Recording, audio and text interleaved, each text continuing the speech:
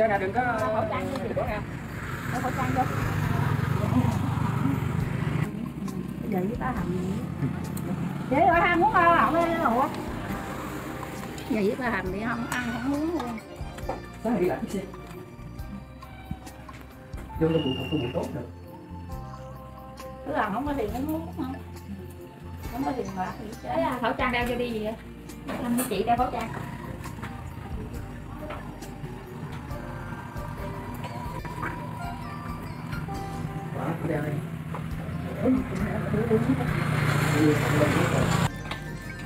À, chị có thể chia sẻ về à, sức khỏe của bà hiện tại bây giờ như thế nào không ạ? thì bà cũng như uh, uống nước tầm hơi không chắc bà ăn thì bà ăn không được bà ăn gió bà mệt. Dạ, bà ăn không được. Dạ, uống sữa thì ỉa hoài không có uống được. Dạ, chỉ uống sáng uống nước trà để đến đường uống vậy rồi cầm hơi từ sáng tới giờ dạ. à, Cụ thể là bà bị bệnh gì ạ? bà bị tai biến Bị tai biến bị lâu chưa? bà bệnh đây cũng uh, gần uh, cả uh, mấy tháng rồi bà năm sáu tháng rồi Dạ, khi mà mình bị tai biến thì mình có chuyển viện đi đâu không ạ? có Vô bệnh viện tỉnh ba ngày định định tỉnh ba ngày Dạ, rồi bác sĩ ở trên bệnh viện tỉnh nói gì ạ?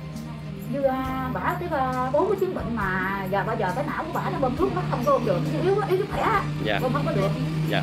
chứ rồi uh, chạm tôi không thấy chị thôi bơm thuốc không được cũng cho xin trở về. Dạ, trở về lo tại nhà. Dạ. đó. Thì à, ngành bảo hành có ba ngày à.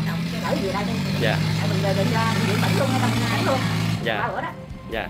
Ở trong thời gian à, bà về thì à, gia đình mình có nhận được à, sự hỗ trợ gì từ bà con không ạ? có không ạ? Có cậu ờ, công an đây cho được ba ký Là mình được 30 kg gạo. Dạ. Rồi mình có nhận được một số mạnh thường quân họ chia sẻ phải không anh? Chưa Dạ chưa đúng không ạ? Dạ. Ở ngày hôm nay thì có um, chị Trần Ni, Nguyễn Trang là những người à, đã vận động mạnh thường quân để hỗ trợ cho cho bà một số ít tiền và quà tặng để giúp cho gia đình mình bớt thêm những cái khó khăn nha. Chị Ni à, có thể chia sẻ cụ thể.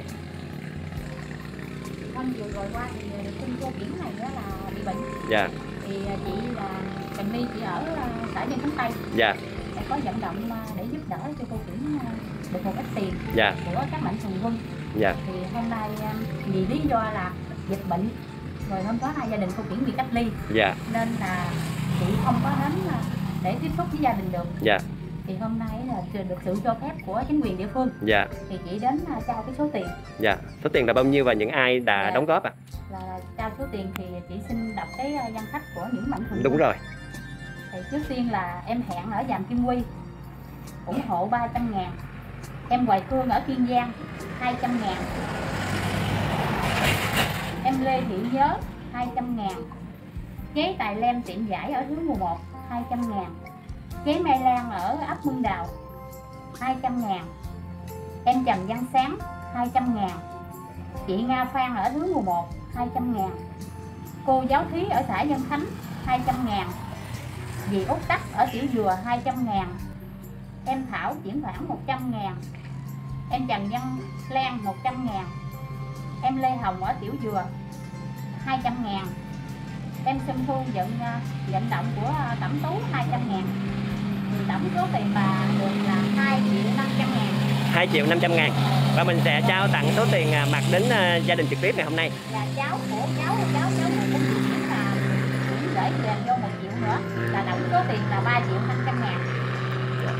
Rồi à, miệt thứ thứ 11 xin đại diện cho gia đình cô Kiện và xin cảm ơn tất cả các mạnh thường quân đã hỗ trợ cho gia đình à, những cái phần tinh thần và tặng tinh thần này.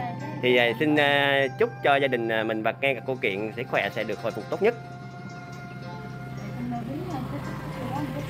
À, thì hôm nay số tiền mà tổng số tiền là 3 triệu 500 ngàn thì Trần Liên cũng thay mặt các gia đình của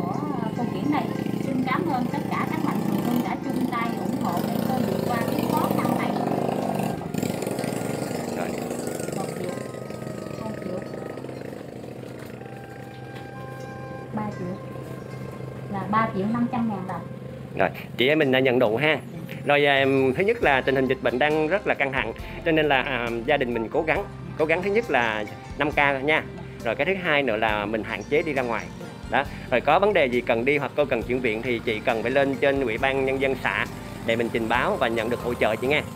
Rồi, chúc mừng gia đình nha. Chị gìn sức khỏe nha. Chị gửi lời cảm ơn nha. cảm ơn gia đình Dạ. Cảm ơn Dạ càng cũng đầy tắt cái này. Rồi, chia tay gia đình nha. Cảm ơn gia đình nhiều.